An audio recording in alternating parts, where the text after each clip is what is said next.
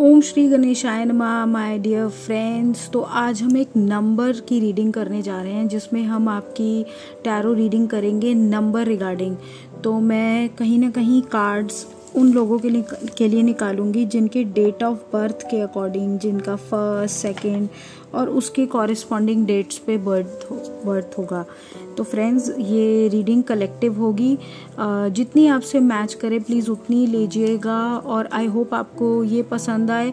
ये एक overall reading होगी। कहीं ना कहीं आपको लाइफ में किन चीज़ों का ध्यान रखना है, क्या चीज़ें करनी चाहिए, क्या आप शायद गलतियाँ कर रहे हैं अपनी लाइफ में एज ऑफ़ नाउ या क्या इम्प्रूवमेंट्स की ज़रूरत है तो कहीं ना कहीं वो सारी चीज़ें आपके लिए एप्लीकेबल होती हैं।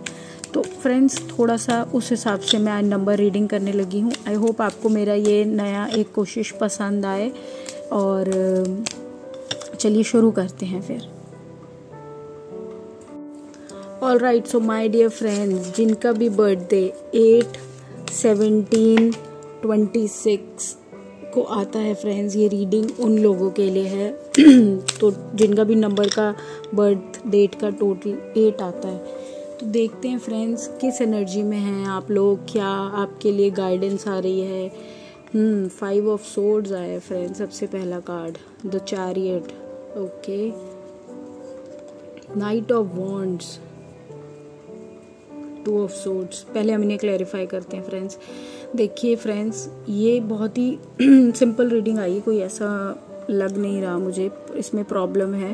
कहीं ना कहीं फ्रेंड्स मुझे जहाँ तक लग रहा है, आप एक ऐसे पर्सन से डील कर रहे हैं, या तो वो आपकी बातों को समझ नहीं रहे, वो आपके लिए बहुत ही ज़्यादा मतलब या तो वो अपने काम में बहुत ज़्यादा बिज़ी रहते हैं, बहुत ज़्यादा, और कहीं ना कहीं आपको या तो उनसे बहुत ज़्यादा प्रॉब्लम हो रही है ईगो दिखाते हैं, बहुत इस टाइप से है, या ये हो सकता है ये आपके वर्क रिलेटेड भी हो कि आपके बॉस आपको समझ नहीं पा रहे, बहुत ज़्यादा आपको ईगो दिखा रहे हैं, बहुत ज़्यादा आपको दबाने की कोशिश कर रहे हैं, कुछ इस टाइप की, कुछ कंपटीशन टाइप की जेलिसी टाइप की फीलिंग आ रही है।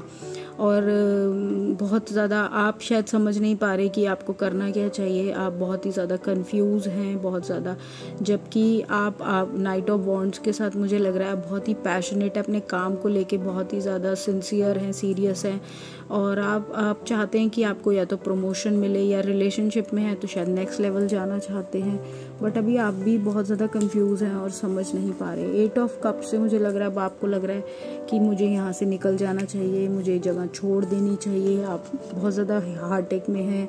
अपना दिल आपका ऐसे लग रहा है जैसे टूट सा गया है कि अब बस अब मैं और इससे ज़्यादा नहीं बर्दाश्त कर सकता या कर सकती, मैं नहीं फेस करूँगी। मुझे मुझे बस अब यहाँ से निकलना है। मैं अपनी लाइफ दूसरी जगह नए सिरे से शुरू करना चाहती हूँ या करना चाहूँगी। कुछ इस टाइप की आपकी एनर्जी नज़र आ रही है फ्रेंड्स मुझे। तो देखिए इतनी जल्दी किसी भी चीज़ का डिसीज़न लेना ना सही नहीं होता है। तो थोड़ा सा आप भी समझदारी से चलिए, हर चीज़ को अपने सारी ऑप्शंस को टटोलिए कि कौन सी ऑप्शंस आपके लिए सही हैं, कौन सा लाइफ का।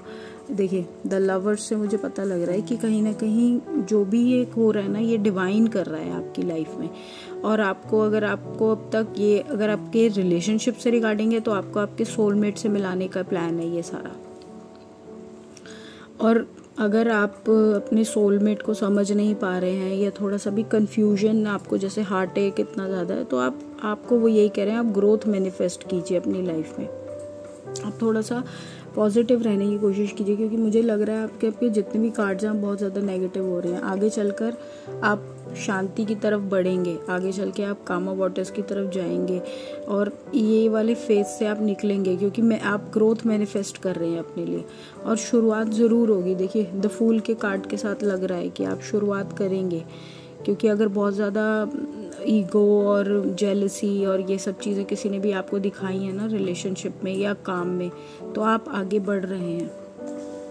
ठीक है फ्रेंड्स मैं ना एक बारी आपकी रीडिंग में चार्म से निकालूँगी और फिर मैं आपके लिए डिवाइन गाइडेंस निकालूँगी।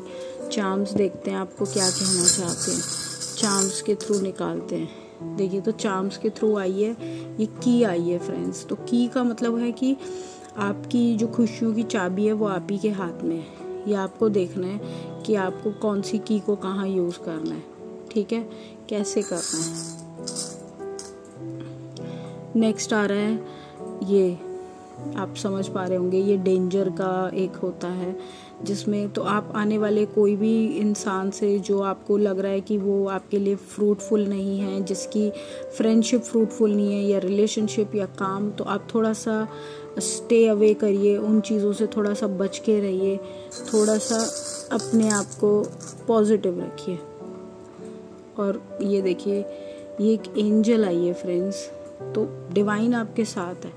इवन ये खतरा या ये प्रॉब्लम आपकी लाइफ में आ रही हो बट डिवाइन आपके साथ है, ये एंजल आपके साथ है गॉड इज़ विद यू आप हिम्मत मत हारिए। नंबर एट डिवाइन की एक गाइडेंस निकालेंगे।